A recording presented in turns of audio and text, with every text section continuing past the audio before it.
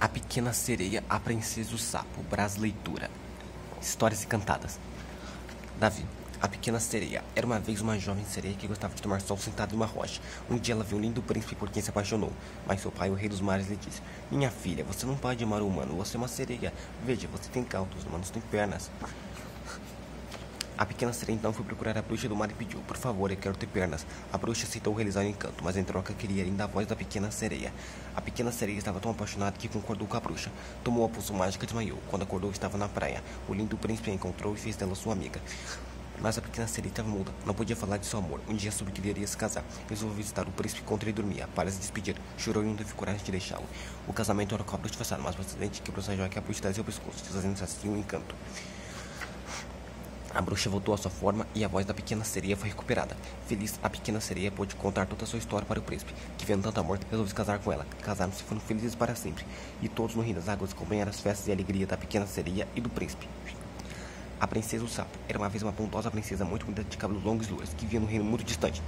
Um dia, sem querer, a princesa deixou cair uma bola no lago. Pensando que a bola tivesse perdida, começou a chorar. Princesa, não chore, vou devolver a bola para você, disse um sapo. Pode fazer isso? perguntou a princesa. Claro, mas sofri em troca de um beijo.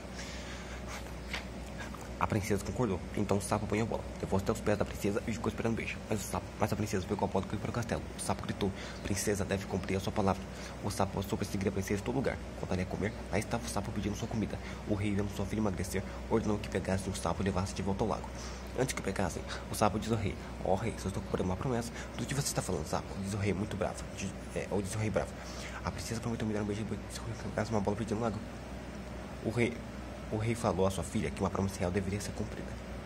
O rei, o rei, então mandou chamar a filha. O rei falou à sua filha que uma promessa real deveria ser cumprida. Arrependida, a princesa começou a chorar e disse que ia cumprir a palavra dada ao sapo. A princesa fechou os olhos e deu um beijo no sapo que pulou ao chão. Diante dos olhos de todos, o sapo se transformou em um belo rapaz com roupas de príncipe. Ele contou que uma bruxa foi transformada em sapo, que somente o olho de uma donzela acabaria com feitiço. Assim, ele se apaixonou pela princesa e a pediu em casamento. A princesa aceitou. Fizeram uma grande festa de casamento que durou uma semana inteira. A princesa e o príncipe juntaram os dois reinos e foram felizes para sempre. Então, pessoal, essa foi a história da pequena sereia da princesa e o sapo, as histórias cantadas. Pessoal, no próximo vídeo vou ler a história do mágico de Oz e do patinho feio. Bom, galera, vou finalizando esse vídeo por aqui. Espero que vocês tenham gostado. Se gostou, deixa o like, inscreva no canal. Obrigado por assistir o vídeo e fui!